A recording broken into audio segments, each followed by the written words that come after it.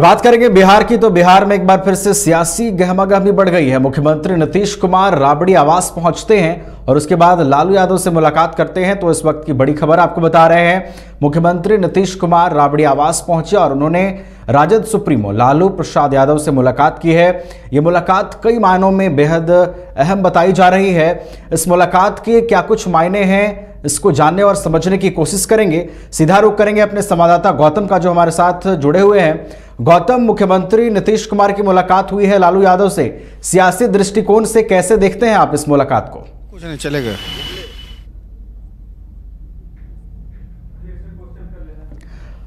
तो ये मुलाकात के मायने क्या हैं? बिहार के मुख्यमंत्री नीतीश कुमार लालू प्रसाद से मिले हैं। इस मुलाकात के क्या मायने हैं ये जानने और समझने की कोशिश करेंगे। सीधा रुख करेंगे अपने संवाददाता गौतम का, जो हमारे साथ जुड़े हुए हैं। गौतम, मुख्यमंत्री नीतीश कुमार ने मुलाकात की है लालू प्रसाद यादव से।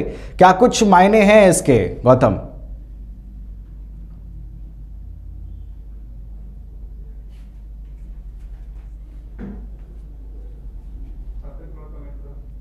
तो आपको बता दें कि बिहार के मुख्यमंत्री नीतीश कुमार ने लालू यादव से मुलाकात की है और इस मुलाकात को बेहद अहम माना जा रहा है, क्योंकि अभी जिस तरीके से बिहार में राजनीतिक हलचल है, उस, उसे देखते हुए भी ये जो मुलाकात है बेहद अहम माना जा रहा है। आज मुख्यमंत्री नीतीश कुमार राबड़ी आवास पहुँचते हैं और उसके बाद लालू यादव से उनकी मुलाकात होती है और उस इस मुलाकात को बेहद अहम माना जा रहा है। कई मायनों में, सियासी मायनों में भी अगर हम इसे समझने और जानने की कोशिश करें तो ये मुलाकात बेहद अहम है। ये मुलाकात आज हुई है मुख्यमंत्री नीतीश कुमार की लालू यादव से। तो इस मुलाकात के क्या कुछ मायने हैं, ये जानने और समझने की कोशिश करते हैं। सीधे रुख करेंगे संवाददाता गौतम का, जो हमारे साथ जुड़े हुए हैं।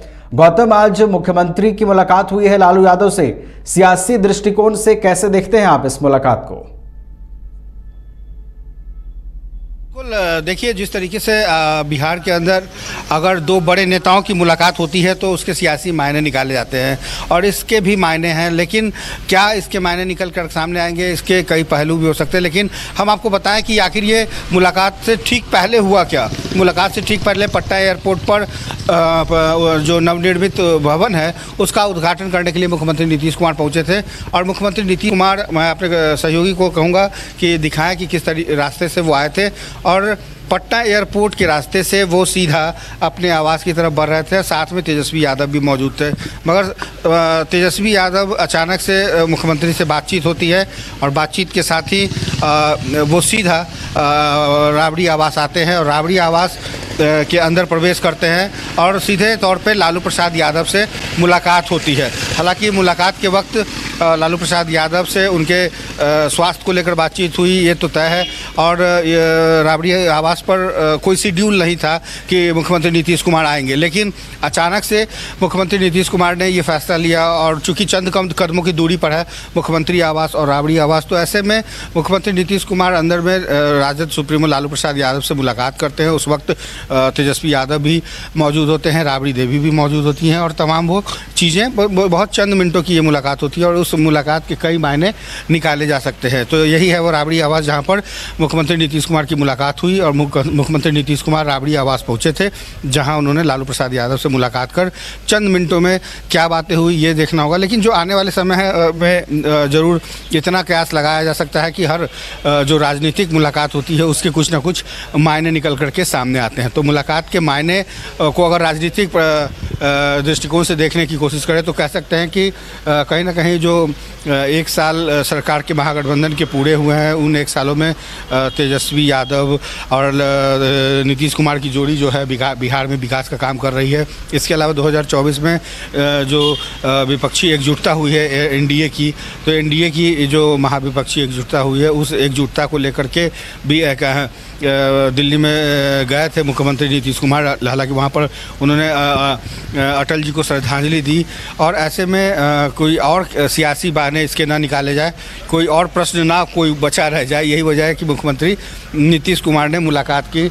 और जो बैनर पोस्टर देख रहे हैं, वो भी उस पर भी मुख्यमंत्री नीतीश कुमार की नज़र पड़ी कि किस तरह से तेजस्वी और तमाम जो नेता हैं, जो बड़े बिहार को विकास में लगे हुए हैं। तो कुल मिलाकर कह सकते हैं कि 2024 के को लेकर के एक जो राजनीतिक गहमा गहमी है उसको लेकर के भी बातचीत हुई होगी। या हो सकता है कि 2024 में जिस वजह से आगे बैठक होने वाली है इंडिया इंडिया की तो इंडिया की बैठक में क्या कुछ निकल कर सामने आएगा? इसको लेकर के भी बैठक बैठक में मुलाकात आपसे ये पूछना चाहेंगे तो कि अभी मुख्यमंत्री नीतीश कुमार दिल्ली दौरे पर थे और दिल्ली दौरे पर उनकी मुलाकात विपक्षी नेताओं से भी होनी थी। हालाँकि विपक्षी नेताओं से मुख्यमंत्री नहीं मिले थे। तो अब ये जो मुलाकात हुई है, क्या इसके बीच कोई लिंक आप देखते हैं क्या? इसको लेकर के एक नया ग्राफ भी खींचा जा सकता है। तो कहीं ना कहीं ये कह सकते हैं कि ये मुलाकात जो है, एक राजनीतिक रूप ले चुका है। और जो सवाल अभी विपक्ष लगातार पूछ रहा था मुख्यमंत्री से कि एक बार फिर से जो है, अटल बिहारी वाजपेयी के प्रति उनके जो देशभक्ति है या श्रद्धा है, वो जागी है। तो कहीं ऐसा ना हो कि लोगों को ये लग रहा हो कि नीतीश कुमार एक बार फिर से वापसी कर सकते हैं। तो इन सब, कई सवालों के जवाब का उन्होंने चंद मिनटों में मुलाकात के साथ ही दे दिया। जी नीतीश। गौतम एक चीज़ ये भी समझना चाहेंगे कैबिनेट विस्तार को लेकर अभी काफ़ी चर्चा थी तो क्या क्या लगता है मतलब कैबिनेट विस्तार को लेकर भी कहीं इस बात ना हुई हो इस मुलाकात में?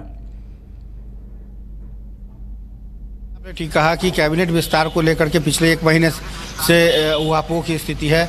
कांग्रेस को दो सीटें देने की बात चल रही थी आरजेडी और जेडीयू। तमाम महागठबंधन के जो लोग हैं वो सीटों का विस्तार कैसे करेंगे या कैबिनेट में के अंदर किसको कितनी सीटें मिलेगी? इसको लेकर के एक पहले भी बैठक हो चुकी थी। हालाँकि इस बैठक में कांग्रेस की जो नाराज़गी है, वो भी झलक रही थी क्योंकि कांग्रेस चाहती है कि इस बार जो कैबिनेट का विस्तार होगा, उसमें दो सीटें कांग्रेस को मिलनी चाहिए। हालाँकि आरजेडी की तरफ़ से अभी भी यही कहा गया कि एक सीट पर ही समझौता करना होगा कांग्रेस को, और यही वजह है कि जो कांग्रेस के अंदर खाने जो नाराज़गी चल रही थी, वो कहीं ना कहीं धरातल पर और पटल पर देखने को मिला। तो कांग्रेस के लिए कांग्रेस के शामिल होने में या कैबिनेट में शामिल होने को लेकर के जो अटकलें लगाई जा रही हैं, उसके भी सियासी मायने निकाले जा सकते हैं। जी। चलिए, धन्यवाद गौतम। हमारे साथ जुड़ने के लिए और इन तमाम जानकारियों के लिए तो बिहार के मुख्यमंत्री नीतीश कुमार ने मुलाकात की है राजद सुप्रीमो लालू यादव से। और ये मुलाकात चंद मिनटों की जो मुलाकात है, वो बेहद खास और बेहद अहम मानी जा रही है। आने वाले आने वाले दिनों में ये देखना होगा कि ये मुलाकात क्या रूप लेती है और इस मुलाकात के और क्या कुछ मायने निकाले जा सकते हैं?